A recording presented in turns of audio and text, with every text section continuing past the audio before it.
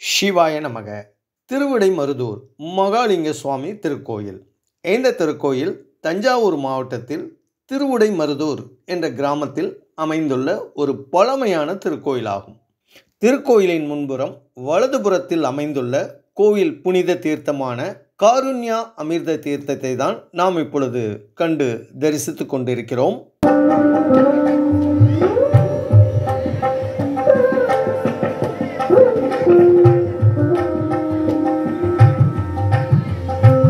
ஏந்த திருக்கோயில் ஐந்து கோபுரங்களையும் நான்கு நுழைவாயில்களையும் கொண்ட ஒரு மிகப்பெரிய திருக்கோயிலாகும். நாம் இப்பொழுது கிழக்கு கோபுரத்தின் வழியாக நுழைந்து மகாலிங்க சுவாமியை தரிசனம் செய்ய இருக்கிறோம்.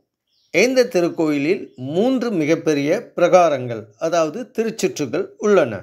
கிழக்கு கோபுரத்தின் நுழைவாயிலின் இடதுபுறம் அமைந்துள்ள விநாயகப் பெருமானை தரிசிப்போமா?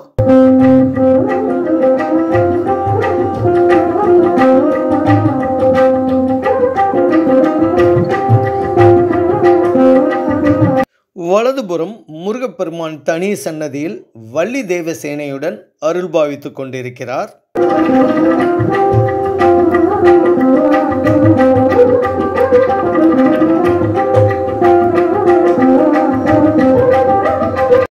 ராஜகோபுரத்தை கடந்தவுடன் அழகான சன்னதியில் அருள் பாவித்துக் கொண்டிருக்கும் விநாயகப் பெருமானை நாம் தரிசிக்கலாம். எந்த விநாயகப் பெருமான்? படித்துறை விநாயகர். என்ற திருநாமத்துடன் வழிபடப்படுகிறார்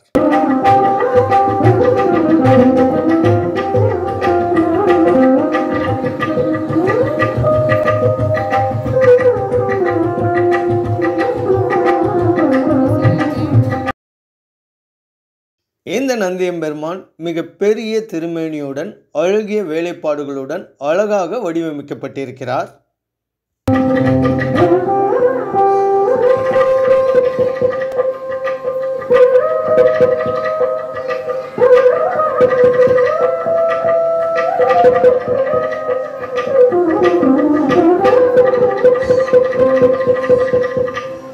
இந்த திருக்கோயில் நாம் அறியாமல் செய்த பாவங்களையும் முன்ஜென்ம பாவங்களையும் தீர்க்கக்கூடிய ஒரு பரிகார தலமாக விளங்குகிறது. நந்தி பெருமானுக்கு இடதுபுறத்திலேயே பிரம்மகத்தி தோஷத்தை நிவர்த்தி செய்யும் பரிகார பூஜைகள் ஒவ்வொரு நாள் காலையிலும் இந்த இடத்தில் நடைபெறுகிறது.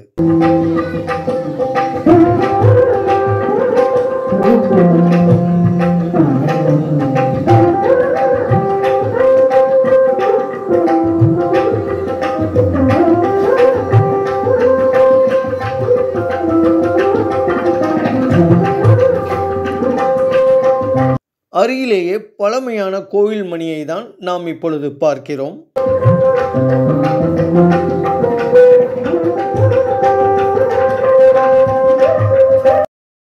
எந்த திருக்கோயில்? சம்பந்தர் சுந்தரர் அப்பர் மூவராலும் தேவார பாடல் பெற்ற ஒரு திருக்கோயிலாகும்.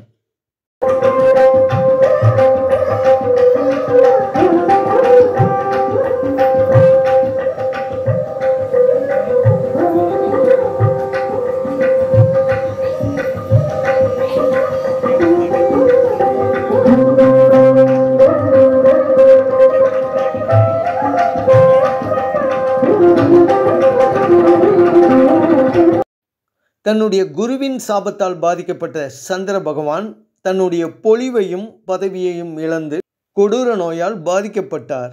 அதிலிருந்து விடுபடுவதற்கு அதற்கு பரிகாரமாக சந்திர பகவான் தன்னுடைய இருபத்தேழு மனைவிகளுடன் எந்த திருத்தலத்திற்கு வந்து இங்குள்ள மகாலிங்க சுவாமியை வழிபட்ட பிறகு சித்தி விநாயகர் என்ற திருநாமத்துடன் விநாயகப் பெருமானின் திருவுருவத்தையும் ஆத்மலிங்கேஸ்வரர் என்ற லிங்க திருமேனியையும் நிறுவினார்.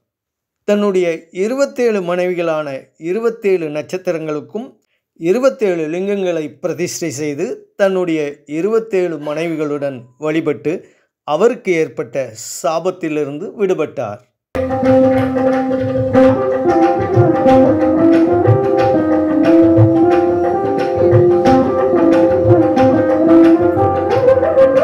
இந்த சன்னதியின் நடுவே அமைந்துள்ள சந்திர பகவானின் திருவுருவத்தை தான் நாம் இப்பொழுது இங்கே தரிசனம் செய்கிறோம்.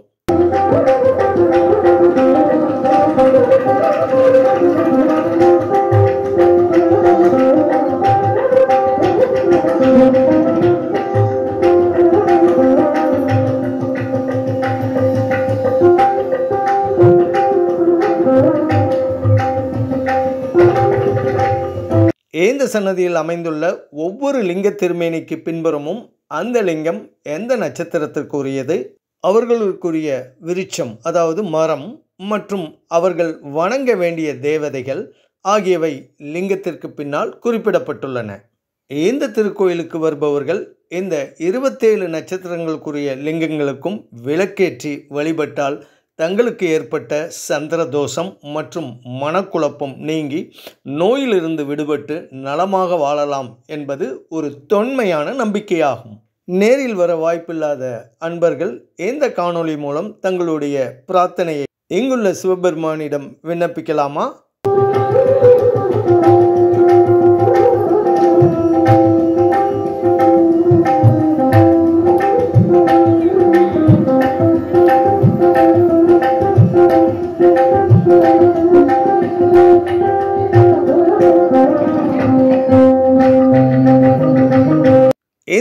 கோயிலில் உள்ள நவக்கிரக சன்னதியில் ஒன்பது கோயில்களின் விக்கிரகங்களும் மற்ற கோயில்களில் அமைந்துள்ளது போல அமையாமல் வேறுபட்டதாக இடம் மாறி அமைந்துள்ளது இந்த திருக்கோயிலினுடைய மற்றொரு சிறப்பம்சமாகும்.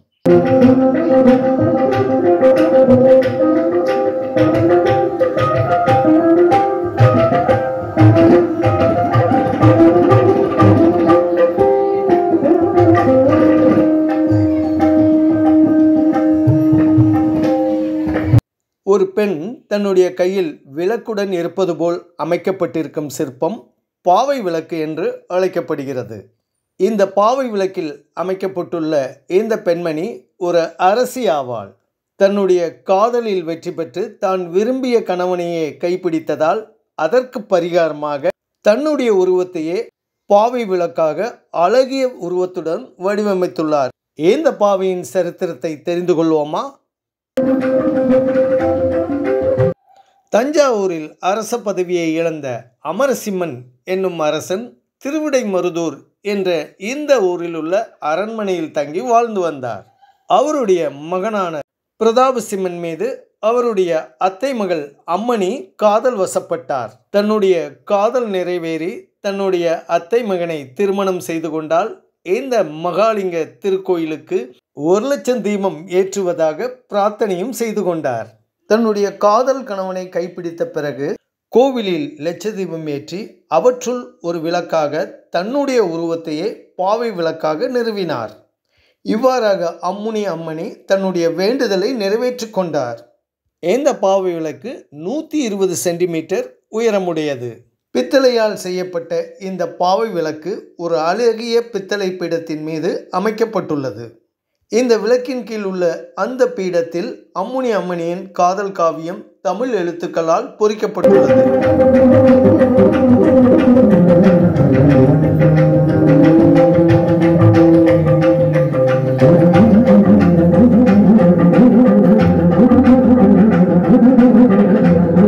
பாவை கதையை கேட்ட பரவசத்துடன் எந்த திருத்தலத்தின் நிறைவனான பரமனை தரிசிப்போமா?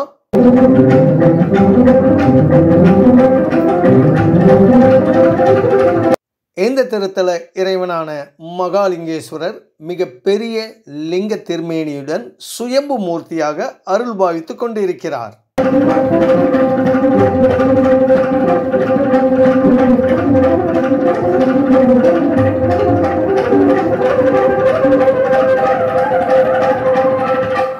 தனி சன்னதியில் சிவகாமி அம்மையுடன் அமைந்திருக்கும் நடராஜ பெருமானை தான் இப்பொழுது நாம் இங்கே தரிசனம் செய்து கொண்டிருக்கிறோம். மூலவர் சன்னதியின் தெற்கு பக்கம் அமைந்துள்ள ஆண்ட விநாயக பெருமானின் சன்னதி.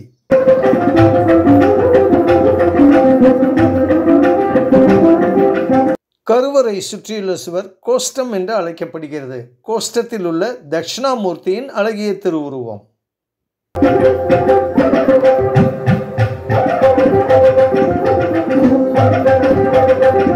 லிங்கோத்பவரின் திருவுருவத்தை தான் இப்பொழுது தரிசிக்கிறோம்.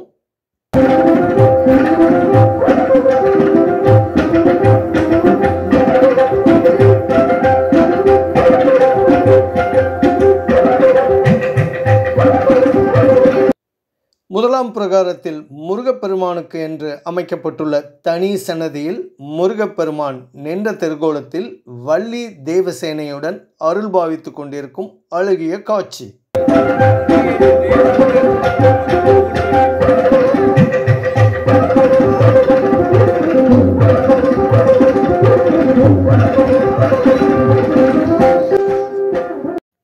எந்த திருக்கோயிலில் மூன்று பிரகாரங்கள் உள்ளன? இந்த மூன்று பிரகாரங்களையும் நாம் வலம் வருவதால் வெவ்வேறு வகையான பலன்களை நாம் அடையலாம் என்று இந்த திருக்கோயிலின் திருப்புராணம் கூறுகிறது.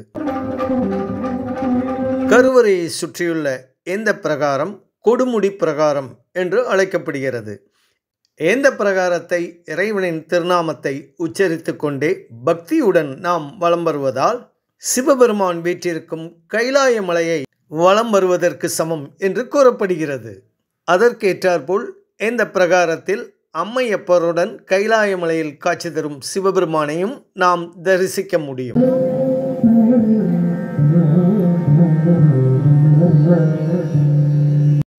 மருதவாணர் என்னும் திருநாமத்துடன் அம்மையப்பனாக காட்சி கொடுக்கும் சிவபெருமானின் கைலாய காட்சி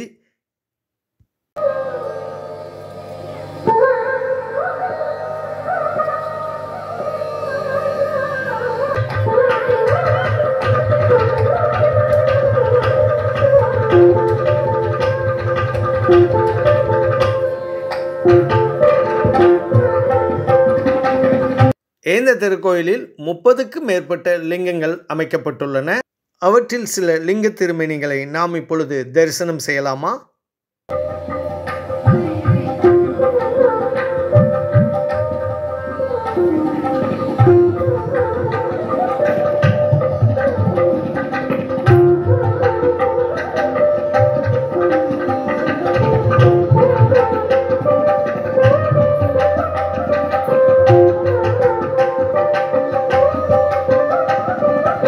கோஷ்டத்தில் அமைக்கப்பட்டுள்ள துர்கா தேவியின் அழகிய திருவுருவத்தை தான் இங்கே இப்பொழுது தரிசனம் செய்கிறோம்.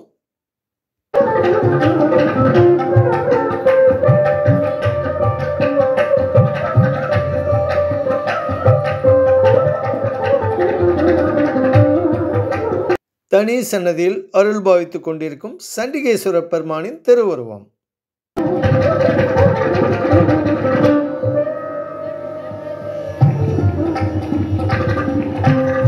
கங்கை அம்மனின் திருவுருவம். நாயன்மார்களின் திருவுருவங்கள் அருகிலேயே அர்த்தநாரீஸ்வரரின் அழகிய திருவுருவம்.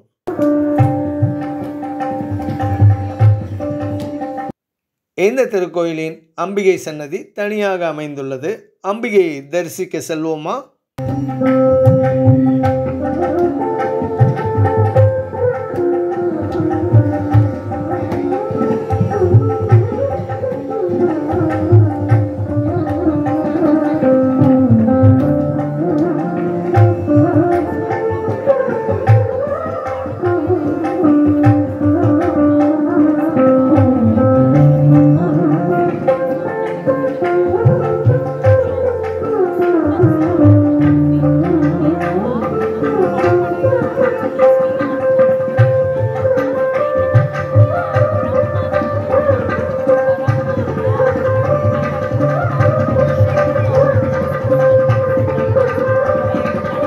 அம்பிகேசன் முன்பு அமைந்துள்ள கொடிமரத்தையும் பலிபீடத்தையும் நந்தியம்பெருமானையும் தான் நாம் இப்பொழுது இங்கே தரிசனம் செய்கிறோம்.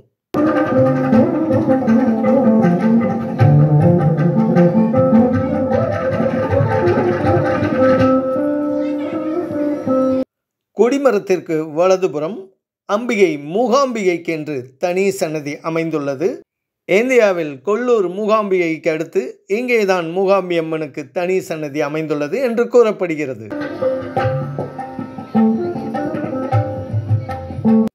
அம்பிகை சன்னதிக்கு முன்மண்டபத்தில் அமைந்துள்ள விநாயகப் பெருமானின் தனி சன்னதி அருகிலேயே முருகப்பெருமானையும் நாம் தரிசனம் செய்ய முடியும்.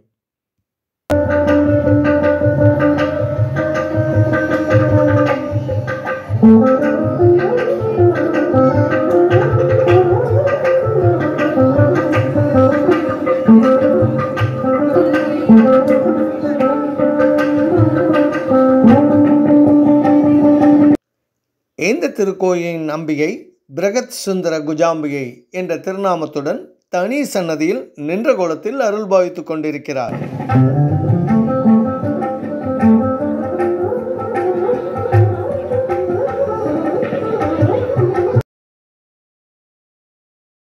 மகேஸ்வரியின் திருவுருவம்.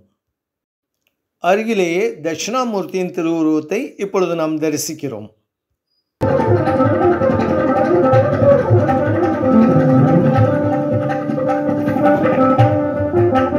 தனி சன்னதியில் நின்ற கோலத்தில் காட்சி கொடுக்கும் ஞானசம்பந்தர். தனி சன்னதியில் அருள் பாவித்துக் கொண்டிருக்கும் சண்டிகேஸ்வரி.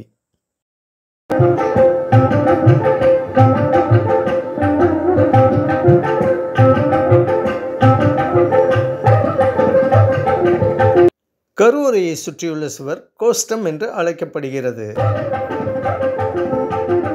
அம்பிகை சன்னதியில் உள்ள கோஷ்டத்தில் சப்த மாதாக்களின் திருவுருவங்களை நாம் தரிசிக்க முடியும்.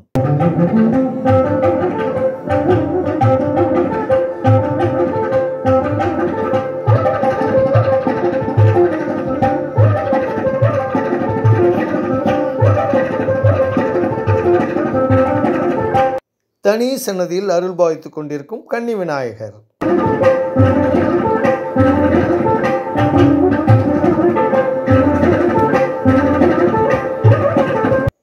உயரமான பீடத்தின் மேல் நின்ற கோலத்தில் அருள் பாவிக்கும் சட்டநாதரின் அழகிய திருவுருவம்.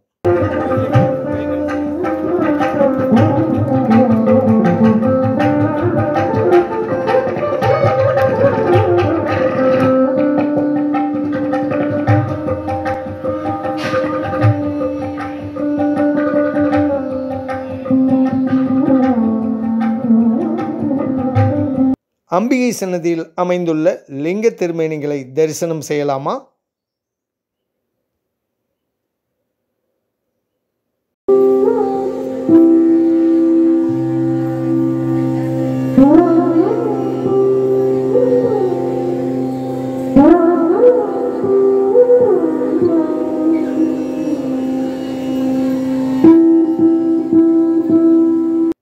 தனி சன்னதியில் நின்ற கோலத்தில் அருள் பாவித்து கொண்டிருக்கும் சனீஸ்வர பகவான்.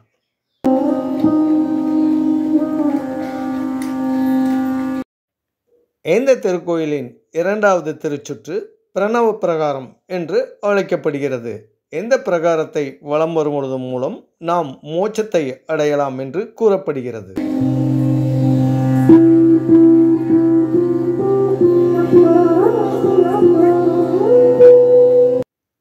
இந்த இரண்டாவது திருச்சுற்றில் அழகிய வேலைப்பாடுகளுடன் கூடிய மண்டபங்களையும் சிற்பங்களையும் நாம் தரிசனம் செய்ய முடியும்.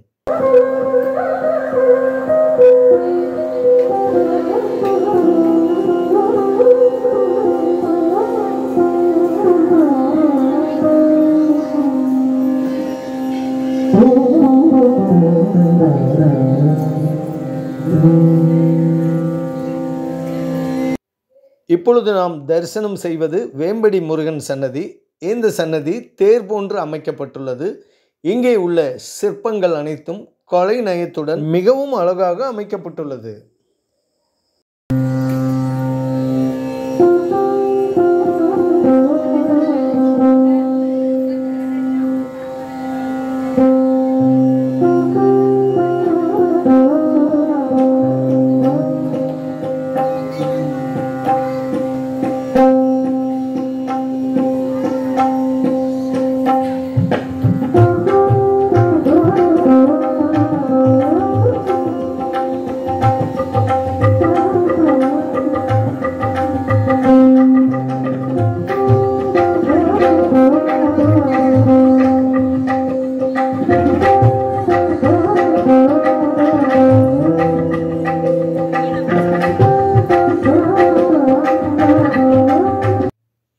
இந்த வேம்படி முருகன் சன்னதிக்கு எதிர்புறமே முருகப்பெருமானின் வேல் மட்டும் தனி சன்னதியில் வைத்து வழிபாடு செய்யப்படுகிறது.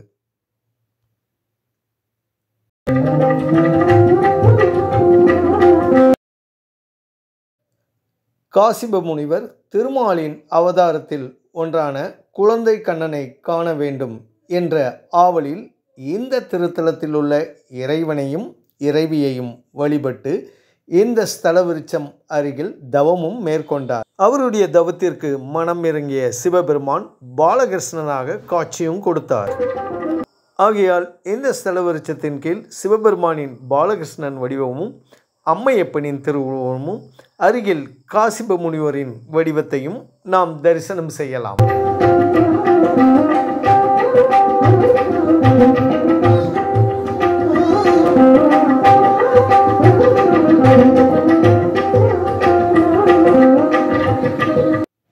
ஏந்த திருக்கோயிலின் ஸ்தல விருட்சம் மருத மரமாகும். இந்தியாவிலேயே மூன்று திருக்கோயில்களில் மட்டும்தான் மருத மரம் ஸ்தல விருட்சமாக அமைந்துள்ளது. அந்த திருக்கோயில்கள் ஆந்திராவில் உள்ள மல்லிகார்ஜுனா திருக்கோயில் தமிழ்நாட்டில் திருநெல்வேலி மாவட்டத்தில் அம்பாசமுத்திரம் அருகில் உள்ள திருப்புடை மருதூர் திருக்கோயில் மூன்றாவது இந்த திருவிடை மருதூர் திருக்கோயில் என்ற மூன்று கோயில்களில் மட்டும்தான் மருதமரம் ஸ்தல விருட்சமாக உள்ளது.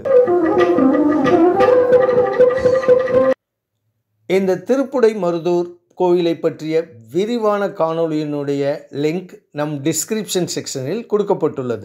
அந்த திருப்புடை மருதூர் கோயிலை பற்றி நீங்கள் தெரிந்து கொள்ள விரும்பினால் லிங்கை பயன்படுத்தி காணொளியை பார்த்து தெரிந்து கொள்ளுங்கள். சிம்ம முகத்துடன் அழகாக வடிவமைக்கப்பட்டுள்ள இந்த திருக்கோயிலினுடைய புனித தீர்த்தமான கிணற்றை தான் நாம் இப்பொழுது இங்கே கண்டு தரிசனம் செய்கிறோம்.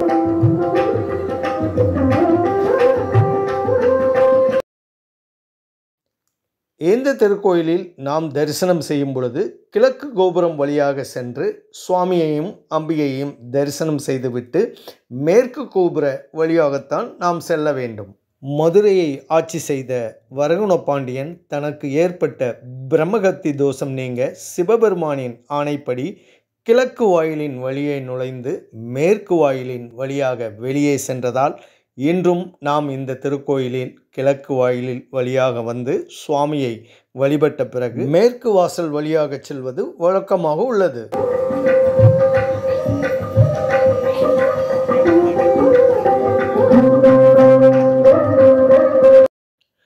திருமணமாகி நீண்ட நாள் குழந்தை இல்லாதவர்களுக்கு குழந்தை வரம் அருளும் அன்பில் பெரியாள் அம்மன் சன்னதி. இந்த அம்பிகையை வழிபாடு செய்வதன் மூலம் குழந்தை பாக்கியம் கிட்டும் என்பது ஒரு தொன்மையான நம்பிக்கையாகும்.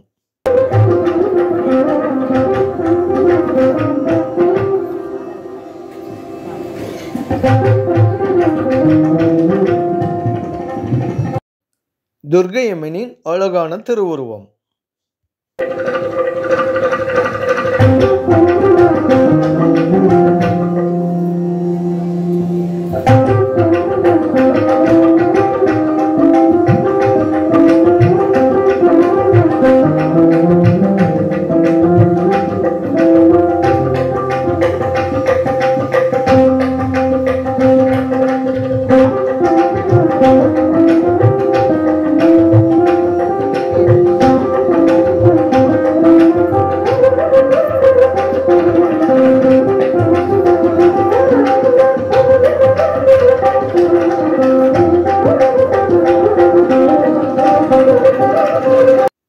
மற்றும் ஒரு துர்கையம்மனின் அழகான திருவுருவம்.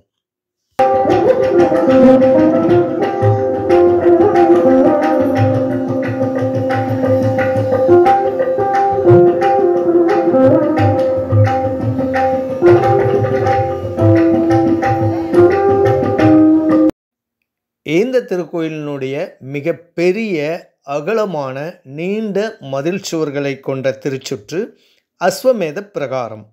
இந்த அஸ்வமேத பிரகாரத்தை நாம் வலம் வருவதால் அஸ்வமேத யாகம் செய்தால் என்ன பலன் கிட்டுமோ அந்த பலனை நாம் ஒவ்வொருவரும் அடையலாம். நாமும் அஸ்வமேத பிரகாரத்தை வலம் வருவோமா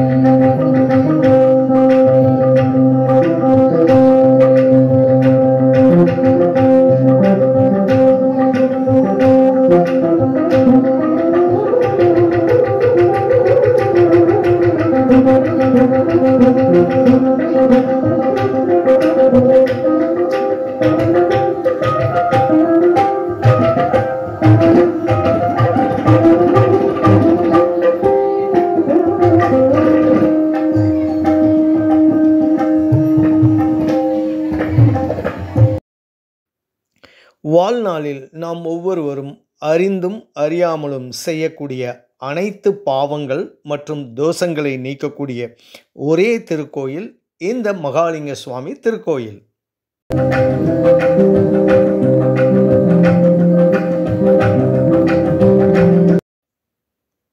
நம்முடைய வாழ்நாளில் ஒரு முறையாவது தரிசனம் செய்ய வேண்டிய கோயில்களில் இந்த மகாலிங்க சுவாமி திருக்கோயிலும் ஒன்று.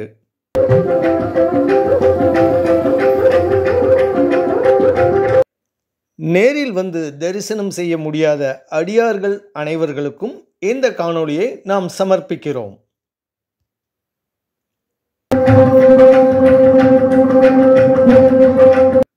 நாங்கள் பெற்ற ஆனந்தமயமான உணர்வை நீங்களும் அடைந்திருப்பீர்கள் என்ற நம்பிக்கையுடனும் அடியார்கள் அனைவரும் நீண்ட நாள் ஆரோக்கியத்துடன் நலமாகவும் மகிழ்ச்சியுடனும் வாழ வேண்டும் என்ற பிரார்த்தனையுடன் தங்களிடமிருந்து விடைபெறுகிறோம்.